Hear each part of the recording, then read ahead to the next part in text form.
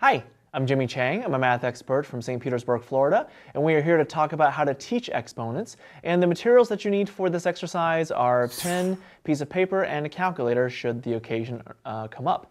Now, by the time students get to exponents, they would already have reached some sort of algebra uh, skill set. So, but exponents uh, can be a little tough to introduce, so we're going to talk about a few steps on how to reach uh, teaching exponents to students.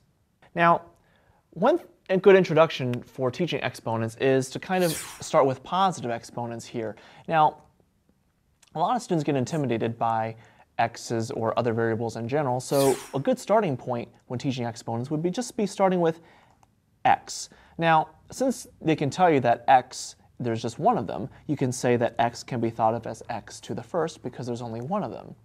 Now, one thing to involve in terms of teach, teaching exponents is that there's a lot of multiplication involved.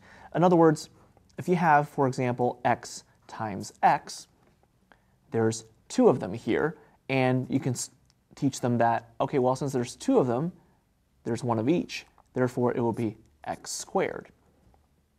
And then you can extend the pattern by saying x times x times x, because there's one of each when you're multiplying. To simplify, there would be three of those, or x to the third.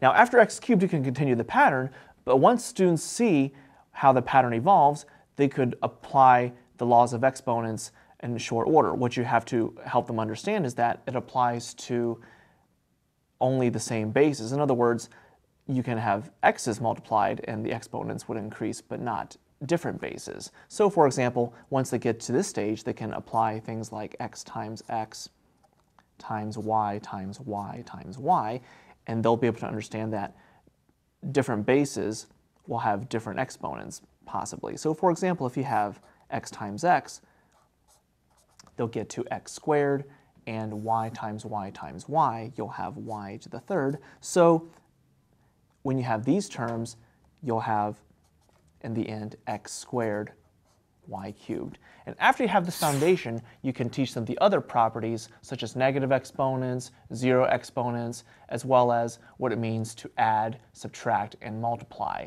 exponents. So I'm Jimmy Chang, and there are a few tips on how to teach exponents.